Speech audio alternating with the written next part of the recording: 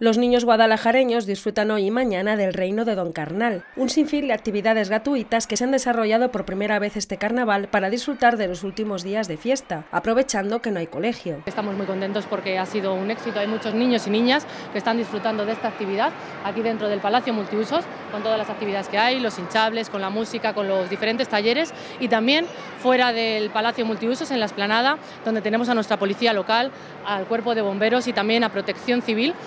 que les quiero agradecer, aprovechar esta oportunidad para agradecerles que hoy estén aquí colaborando y que estén enseñando esa cara más amable y estén trabajando con los niños y mostrándoles todo lo que hacen en el día a día. La verdad que es una satisfacción ver este pabellón multiusos lleno de tanta vida en estos días en los que no hay colegios. Agradecer al concejal de deportes, a Evaristo Alcina, que bueno, él ha estado también aquí preocupándose porque las instalaciones estén en perfecto,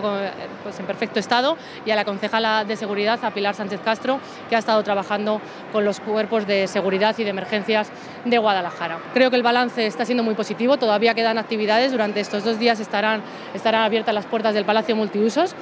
desde las 11 de la mañana hasta las 9 de la noche en horario ininterrumpido para que todos los pequeños de la ciudad de Guadalajara puedan disfrutar y el miércoles remataremos con el entierro de la sardina, pero aprovechar para decir que estamos realmente satisfechos con el balance de este carnaval 2020. Hasta los 12 años los guadalajareños podrán disfrutar con el reino de Don Carnal del mejor broche para este carnaval 2020. Al término de este informativo podrán disfrutar de las imágenes y otras fiestas de carnaval de la provincia.